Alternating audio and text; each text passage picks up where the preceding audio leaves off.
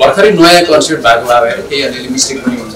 र ठ्याक्कै specific answer आउनलाई अझै टाइम लाग्छ त्यो हामीले धेरै काम गर्नेछौँ बाँकी नै छ। यद्यपि हाम्रो डेभलपमेन्ट टिमले काम गरिरहेछ अहिले सुन्धारा कार्यालयमा नियमित लग लगभग दुई सयदेखि तिन सयजना कस्टमरहरू यहाँ कार्यालय भिजिट गर्नुहुन्छ। र काउन्टरमा एकदमै साथीहरू व्यस्त हुनुहुन्छ। होइन धेरै टेलिकमको सेवा सुविधाहरू एकदमै धेरै छन्। अनि त्यो काउन्टरको मान्छेहरूलाई अब त्यो नर्मल कस्टमरलाई सेवा सुविधा दिने बेलामा नै एकदम टाइम धेरै लाग्ने भएर त्यस्तो त्यस्तो कुराहरू यहाँ सोध्न सकिन्छ त। तपाईँले भन्नुभएको जस्तो यो हामीले महिना जुन एकदमै नयाँ छ हामीहरूलाई हामीले बिस्तारै ट्रेन गर्दैछौँ। यसलाई यसलाई फुल्ली ट्रेन गर्न केही समय लाग्छ। अब हामी बिस्तारै बिस्तारै नयाँ प्याकेज आउँछ थप्दै जान्छौँ र जस्तो अघि हाम्रो साथीले जस्तो स्पेसिफिक मेरो घरको नम्बर अथवा मलाई कस्तो प्याकेज अथवा के के भनेर सुन्नुभयो नि। अझै स्पेसिफिक एन्सर आइसकेको छैन त्यसलाई एकदम स्पेसिफिक एन्सर आउने बनाउँछ हामीहरू छिटै र यसले स्पेसली ग्राहकहरूलाई धेरै नै धेरै नै सहज बनाउँछ।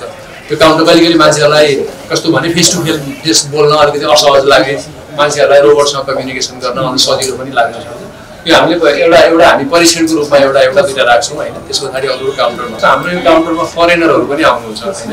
कतिपय साथीहरूलाई कम्युनिकेसन गर्न गाह्रो हुन्छ अङ्ग्रेजीमा। हामी यो अङ्ग्रेजी नेपाली दुइटै ल्याङ्ग्वेजमा यसलाई बनाउँछौँ। अनि त्यो भएपछि बाहिरबाट जुन जसलाई नेपाली नबोल्ने मान्छेहरू आउनुहुन्छ उहाँहरूलाई पनि सजिलो हुन्छ। वेबसाइटभन्दा बाहिरको इन्फर्मेसनहरू पनि छ। त्यो सबै इन्फर्मेसन पनि यसलाई ट्रेन गराउँछौँ। बाँकी उसले चाहिँ जेनरल तपाईँको वेबसाइटहरूबाट अथवा जेनरल नलेज वर्ल्डबाट पनि त्यस्तो इन्फर्मेसनहरू लिन सक्छ। बेसिकली एआई नै हो। एउटा एआई च्याट बोर्ड भनौँ न एक हिसाबले।